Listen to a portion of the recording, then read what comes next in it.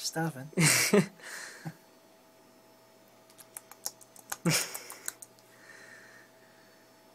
Sweet treat. Seeing the wings now.